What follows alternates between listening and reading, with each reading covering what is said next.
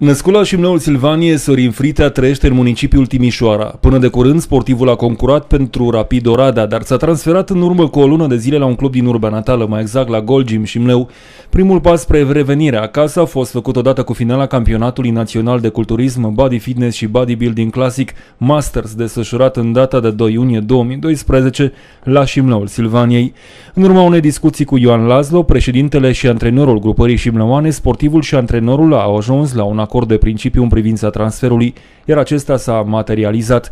Astfel, sâmbătă trecută la Reghin, Sorin Frite a reprezentat sălajul la finala campionatului național de culturism, unde a urcat pe treapta a doua a podiumului de premiere în cadrul categoriei de greutate 85 de kilograme. La Reghin s-a cernut crema culturismului românesc. Cei mai valoroși culturiști români și-au afișat cu mândrie fizicul în cadrul campionatului național de culturism pentru seniori. Spre mândria noastră, Sorin Frite de la Gold Gym și Mleu a cucerit medalia de argint la una din cele mai importante categorii din concurs concurs categoria 85 de kilograme.